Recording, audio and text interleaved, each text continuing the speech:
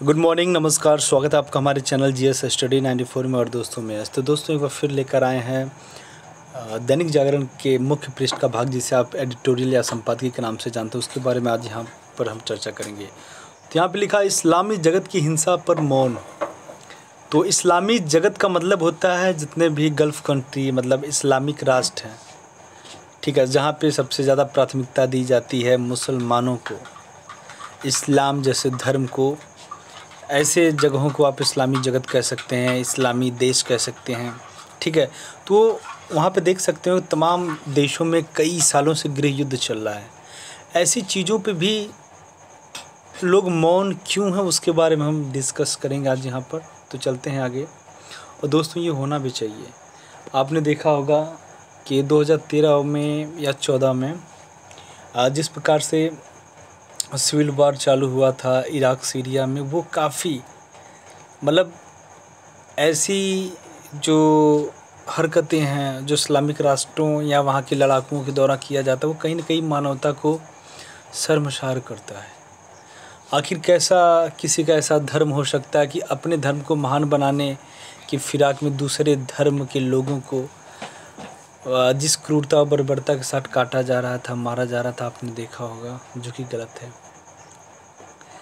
Hamas Israel के बीच लड़ाई फिर शुरू होती दिख रही है, क्योंकि इसराइल की नई सरकार ने यह कहकर गाजा पट्टी पर बम बरसाए हैं कि हमास की ओर से उसके इलाके में आग लगाने वाले गुब्बारे छोड़े जा रहे हैं।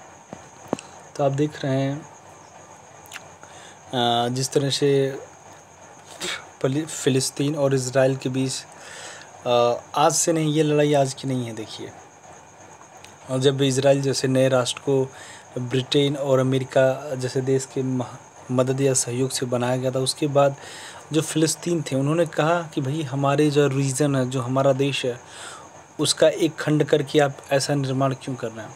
देखिए, ये मात्र फ़लस्तीन या इसराइल की बात नहीं है। ऐसे तमाम देशों में ब्रिटेन के लोगों ने वहाँ पे बांटा, ठीक है, कुछ चीज़ें मुसलमानों को दे दिया आप देख सकते हैं, भारत जैसी स्थिति में भी आप यहाँ पे इम्प्लीमेंट कर सकते हैं कि मुसलमानों को अलग राष्ट्र उसने दे दिया पाकिस्तान के नाम से। नए राष्ट्र का निर्माण हुआ, जन्म हुआ। और आज भी स्थिति दो देशों के बीच जो कश्मीर को लेकर जो मुद्दा है, आज भी बहुत ही संवेदनशील आप इस बात को जानते हैं। इसी के साथ इस्लामी जगत में इसराइल के ख़िलाफ़ आवाज़ें उठनी शुरू हो गई हैं। अब आप देख सकते हैं कि फ़िलिस्तीन जो पूरी तरह से या फिर उसके जो इर्द गिर्द देश हैं, वो पूरी तरह से आप देखेंगे इस्लामिक हैं। तो बीच में खाली इसराइल ही है, जो यहूदियों का देश है। तो इस समय जो है, उसके ख़िलाफ़ जो मुस्लिम कंट्रीज़ हैं, इस्लामिक देश हैं, वो आवाज़ें उठाने स्टार्ट कर दिए हैं। लेकिन यही आवाज़ें तब खामोश रहती हैं कि जब पाकिस्तान में मार काट मची होती है इन दिनों अफ़गानिस्तान के हालात फिर बहुत ख़राब होते दिख रहे हैं। अब देखिए, यहाँ पे एक बहुत बड़ी बात है विचार विमर्श करने की, आपस में डिस्कस करने की। जब ये समस्या किसी अन्य देश में होती है, तब ये जो मुस्लिम मुस्लिम कंट्री हैं इस्लामिक जगत है, ये खामोश क्यों रहते हैं?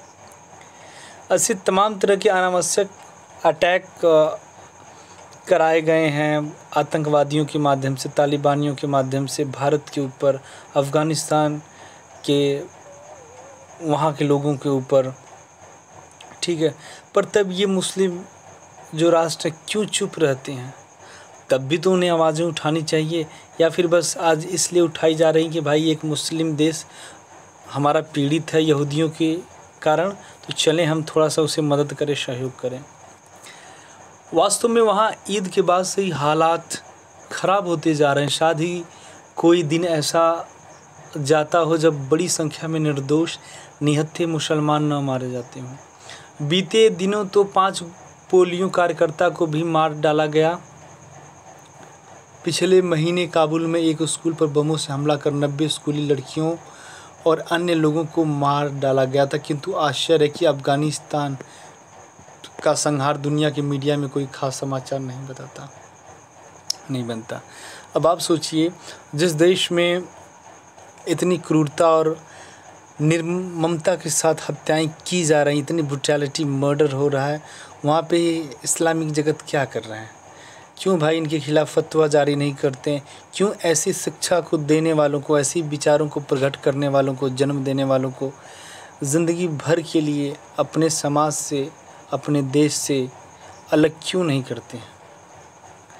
ये देखिए बहुत बड़ी बात है। आज जिस तरह से पिछले 20 साल से हिंसा हो रही है अफ़गानिस्तान में तो सारे जो इस्लामिक राष्ट्र हैं, मौन क्यों हैं? क्यों नहीं कुछ बोलते? इसके विपरीत गाज़ा में एक मृतक मुस्लिम बच्ची का फुटेज, नाम सहित दुनिया भर के मीडिया में कई दिन चलते रहा। ऐसा विचित्र, भयंगापन क्यों? क्या केवल इसलिए क्योंकि अफ़गानिस्तान में सैकड़ों निर्दोष मुसलमान की हत्याएँ मुसलमानों ने ही की? आपने देखा होगा कि, अरे सब छोड़ो यार, मैं आपको बता दूँ अली को किसने मारा? मुसलमानों ने ही मारा? हुसैन को किसने मारा? करबला में। बताइए, उनकी हत्या किसने किया? उन्होंने किया जो भाई सुन्नी में बिलीव करते थे। ठीक है, इसीलिए सिया जिस विचार को, जिस व्यक्ति विशेष को मानते थे, उनको मार दिए। तो आज स्थिति जानते हैं, हिंदू मुस्लिम की बात नहीं हो रही है। जो मुसलमान हैं, एक राष्ट्र में जिस तरह से आपस में ही पीड़ित है, वो गलत है। केवल अफ़गानिस्तान में ही बच्चे और महिलाएँ हिंसा का शिकार नहीं बनते हैं। ऐसा और देशों में भी होता है जहाँ मुसलमान ही मुसलमान की हत्या करते हैं। आपने देखा होगा कि दोस्तों, कुछ साल पहले जो सीरिया और इराक में अपने धर्म को महान बताने के चक्कर में लाखों निर्दोषों को मारा गया, अन्य धर्म के लोगों का सर कलम किया गया। आपने देखा हो कई सारे वीडियो फुटेज सोशल प्लेटफॉर्म पे मतलब आते रहते थे, जिसमें इतनी निर्मम तरीके से हत्याएँ की गई। ब्लेड से उनका सर काटा गया। मतलब आप सोच नहीं सकते। ठीक है, आप देख लेंगे तो खाना नहीं खा पाएँगे। और उसमें कौन था? क्या कोई सिख था? कोई हिंदू था? कोई ईसाई था नहीं। एक मुसलमान दूसरे मुसलमान की हत्या कर रहा था या एक मुसलमान किसी दूसरे अन्य धर्म वालों की हत्या कर रहा था। कुछ वर्ष पहले पेशावर पाकिस्तान में एक स्कूल में टाइम बम लगाकर तहरीक तालिबान ने सौ से अधिक स्कूली बच्चों और उनके अलावा अनेक शिक्षकों, कर्मचारियों को मार डाला था। इस चीज़ के बारे में भी आपने देखा होगा कि तालिबान के लोगों ने अफ़गानिस्तान में और कई बार तो ये घटना मिली है पाकिस्तान में भी। कैसे मानव बम बनकर जाके उड़ा दे रहे हैं, कहीं स्कूल उड़ा दे रहे हैं, कहीं परिसर उड़ा दे रहे हैं। तो ये सारी दिक्कतें कहाँ से आ रही है? आप भी थोड़ा सा विचार विमर्श करिए, चीज़ों को देखिए। आज पूरी दुनिया में यदि अशांति है तो कौन कर रहा है?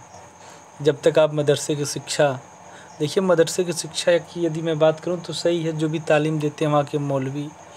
पर दोस्तों वो यदि तालीम ये देते हैं कि हमारा धर्म सर्वश्रेष्ठ है जो काफिर है, जो गैर मुस्लिम है, उसकी आप हत्या करें। ठीक, अपने धर्म को महान बताने के चक्कर में ए की फोर्टी सेवन उठा लीजिए। कोई भी अनलॉफुल एक्टिविटीज़ में शामिल हो जाओ तो ये गलत है।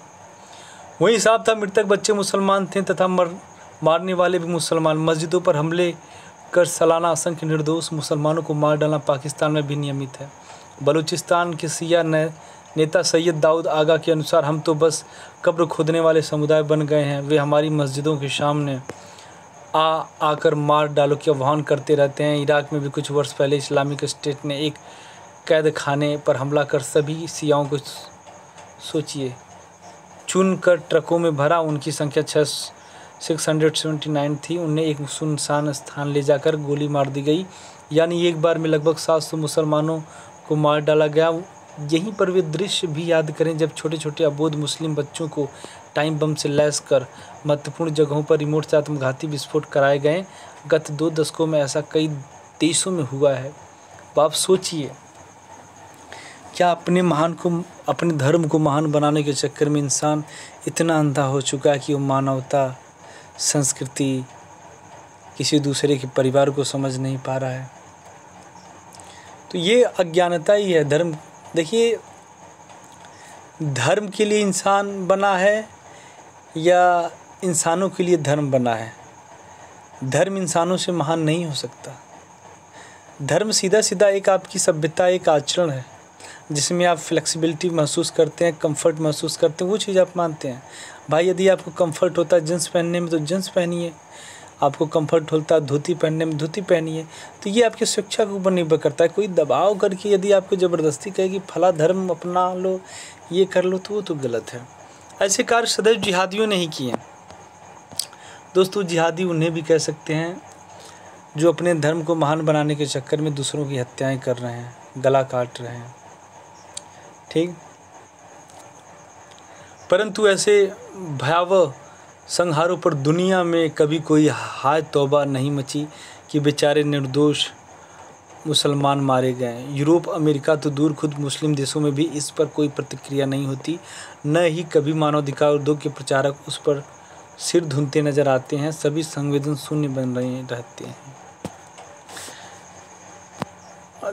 तो यहाँ जो लेखक है जो राइटर हैं, जिन्होंने आज का एडिटोरियल लिखा, उनका सबसे बड़ा उद्देश्य यही है कि आखिर जब कोई मुस्लिम कंट्री में मुसलमान ही वहाँ के लोगों का शोषण करता है, निर्मम तरीके से हत्या करता है, वहाँ के शवों को खंडित करता है, मानवता को शर्मसार करता है तो ऐसे में मुस्लिम जगत कहाँ रहता है? क्यों नहीं ये शिक्षाएँ देता है अपने लोगों को? मामला बिल्कुल साफ़ है कि मुस्लिम जमातें और नेता ही मुसलमानों की जान को अहमियत नहीं देते हैं। यह स्थिति केवल कुछ कट्टरपंथियों की ही नहीं है, मुस्लिम देशों के शासक, कथित लिबरल मुस्लिम बौद्धिक नेता आदि भी इस पर कुछ नहीं सोचते। कभी किसी को इन नियमित संहारों पर चिंता करते नहीं देखा सुना जाता, जो मुसलमानों द्वारा दूसरे मुसलमानों का होता है। ऐसी चुप्पी का मुख्य कारण है इस्लामी मतवाद का बचाव करना। यदि लड़कियों के स्कूल ब्यूटी पार्लर अस्पताल आदि पर जिहादी हमलों का विश्लेषण होगा तो यह सामने आएगा कि वह सब इस्लाम के नाम पर ही किया जाता है। इस्लाम के अनुसार 11-12 वर्ष की आयु के बाद लड़की अकेले घर से बाहर नहीं निकल सकती। तब लड़की को परिवार के ऐसे पुरुष के साथ ही बाहर निकलना है, जिसके साथ शादी मना शादी मना हो, जैसे पिता, सगा, भाई आदि। यही फ़ायदा एक आधा शादीशुदा मुस्लिम स्त्रियों के लिए भी है। केवल उम्र दराज स्त्रियों को इससे छूट है जो बच्चे पैदा करने की आयु पार कर चुकी हो। इसलिए तालिबान या इस्लामिक स्टेट लड़कियों के स्कूलों, कॉलेजों पर हमला करते हैं क्योंकि उनके हिसाब से लड़कियों का, ऐसे लड़कों के साथ होना इस्लाम विरुद्ध है, जिनसे उनकी शादी मना न हो। इसी कायदे से लड़कियों का स्कूल जाना, बाहर काम करना, मैत्री संबंध बनाना आदि वर्जित है। जो मुस्लिम लड़की स्त्री अकेले घर से बाहर स्कूल, अस्पताल या ऑफ़िस जाने के लिए भी निकलती है तो वह इस्लामी कायदों का उल्लंघन कर रही होती है। उन्हें दंडित करना इस्लामी नज़रिए से जायज़ है। यही तालिबान या इस्लामिक स्टेट के दस्ते करते हैं। वे इस्लाम को लागू करने के लिए मुसलमानों को मारते रहते हैं। चाहे उस का रूप जो भी हो, उदाहरण के लिए इस्लाम स्त्रियों को सजने संवरने की भी मनाही करता है। इसी कारण तालिबान अपने शासन या प्रभाव वाले इलाकों में ब्यूटी पार्लर को नष्ट कर देते हैं। तालिबान या इस्लामिक स्टेट जैसे देशों के अनुसार कई मुद्दों पर दुनिया भर के करोड़ों मुसलमान भी कुफ्र के दोषी हैं, इसलिए इस्लामी फ़ायदे से मौत की सज़ा के हकदार हैं। उसी श्रेणी में सारे सिया हाजरा, बहाई, यजीदी, अहमदिया आदि भी हैं। जिन्होंने इस्लामी कायदे से रंच मात्र भी हटने या उसमें कुछ जोड़ने बदलने की कोशिश की है। सो कट्टर इस्लामी संगठन खुद मुस्लिम देशों में भी दूसरे मुसलमानों को नियमित मारते रहते हैं। तमाम मुस्लिम विद्वान भी इस्लाम को एक चट्टान सा परिवर्तनीय मानते हैं। लिहाजा इस्लामी संगठनों की ओर से तमाम कार्रवाइयाँ भी कमोबेश एक जैसी होती हैं। गाज़ा से लेकर Nigeria, Sudan, Syria, Yemen Iraq, Pakistan, Afghanistan आदि विविध देशों की घटनाएँ कमोबेश एक रूप होती हैं। एक सी शिकायतें एक जैसे कारनामे, सबका निष्कर्ष यही निकलता है कि मुसलमान खुद ही इस्लामी मतवाद के पहले शिकार हैं। दुनिया में इस्लाम का राजनीतिक वर्चस्व बढ़े या बना रहे, इसके लिए उन्हें सस्ते ईंधन की तरह इस्तेमाल किया जाता है। इस पर कम से कम गैर मुसलमानों को तो ध्यान देना चाहिए। उन्हें अपने और आम मुसलमानों के भी हित में उस संपूर्ण राजनीतिक मजहबी विचार तंत्र को कटघरे में खड़ा करना चाहिए, जो सालाना हज़ारों निरीह लोगों की बलि देता है। तो आज के लिए इतना ही। नमस्कार, धन्यवाद।